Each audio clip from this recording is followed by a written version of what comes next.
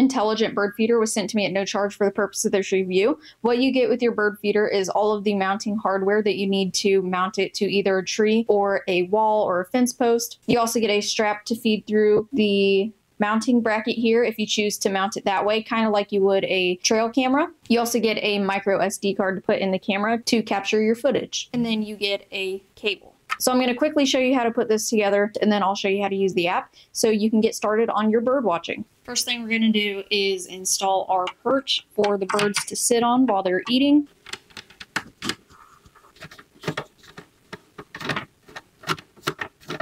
Next, we're going to put on our mounting bracket. Be sure that the holes on this plastic piece line up with the screw holes. The way you fill this up is open it from the top here, pour your bird seed in, and then they also provide you with two little screws to fix this lid in place so squirrels and coons and other critters can't get into your bird seed. Your micro SD card is going to go on top of the camera.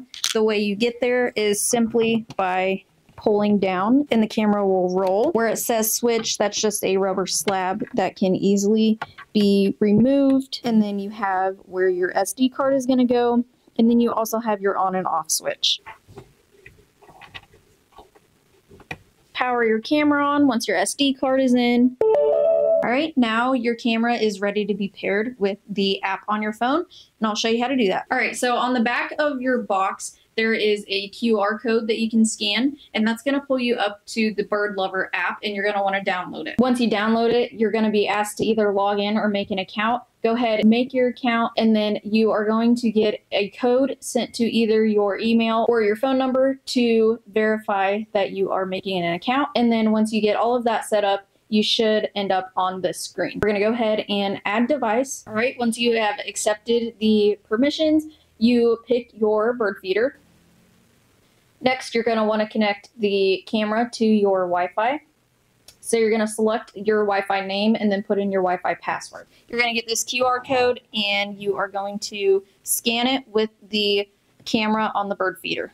And if it's not working, go ahead and take off the rubber slab again and reset your camera with the pin that is provided. There we go. All right, it says we have been added successfully. All right, once everything is connected, once you press on Smart Bird Feeder camera or whatever you have changed the name to, should just be able to press it and your camera is going to come on. So now all we have to do is put some bird seed in and wait for birds to come and sit on this perch and we'll be able to look at them up close and personal through the camera. So taking a closer look at the Bird Lover app, in the top left hand corner there is an HD symbol. This allows you to change your video quality. SD is going to give you a lower viewing quality than HD, however, it's going to allow your camera battery to last longer. Next to that is going to be your battery indicator, telling you how much battery you have left and if it's charging or not. If your battery does happen to die, you can take the camera out of the bird feeder and charge it with the provided cable. This can happen due to too much activity on the bird feeder and not enough sunlight to get a good charge. Next, on the right hand side, there is a volume button allowing you to mute the sound and then next to that is the button to make your screen a little bigger. Next thing we're going to look at is the notification settings. To get there, you can go back to the home page Click on your profile in the bottom right hand corner and go to Message Center. And then in the top right corner, click on the gear and then you will be able to enable or disable your notifications. I have mine disabled because I have so many birds coming and going and I was getting notified almost every minute. If I had my notifications enabled, this is everything that would have came through my phone. If you're having issues with the notifications or if you're not getting alarms, there's a couple things you can do to hopefully fix that. First thing you want to do is make sure that your motion detection is on. You can turn it on by clicking motion detection on the feature screen like you see here, or you can click on the three dots in the top right, go to detection alarm settings, and then you'll be able to turn on your motion detection. Next thing you can do is adjust your alarm sensitivity. The camera is set on medium by default, but if that is not sensitive enough for you, you can turn it on high. However, I will warn you, you are going to have multiple alarms that aren't just birds. You will be notified of trees blowing in the wind, bugs flying by, and every car that passes by if the camera is facing towards a road. Then from this same screen, you can set your alarm interval, which goes from 0 to 60 seconds. You can control how long the camera records, ranging from 15 to 120 seconds, and you can also enable early termination, which will cause the camera to stop recording after 10 seconds if nothing triggers the camera, so you don't have a bunch of empty footage. Now looking at the bottom half of the screen, this square button is going to flip the screen sideways so you have a larger viewing area. Next is your camera, so you can click on that at any time and then that picture will be saved in your gallery along with any videos that you take. To record a video, simply click on the recorder and then press it again when you are done recording. Next is my favorite thing about this app. This button here identifies what bird is on your bird feeder and will take you to a Wikipedia page and tell you all about that specific bird.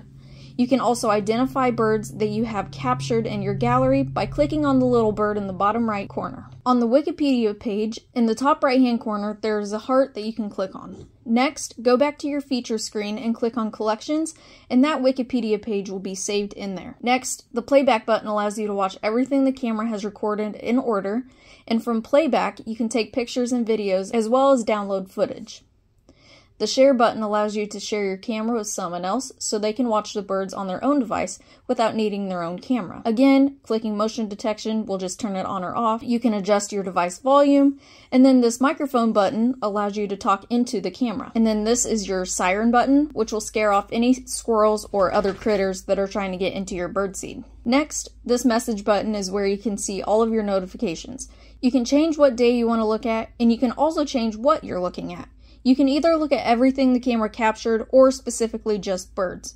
Then if you want to get rid of anything, you can click on edit and select what you want to delete. If you want to remove the time watermark off your screen, click on the three dots, click on basic function settings, then you can enable or disable the time watermark there. If all of this wasn't awesome enough, this camera also supports night vision. Click on the three dots again, and your night vision will be found under the IR night vision. So that's pretty much everything you need to know about getting started with the Bird Lover app and the Smart Bird Feeder.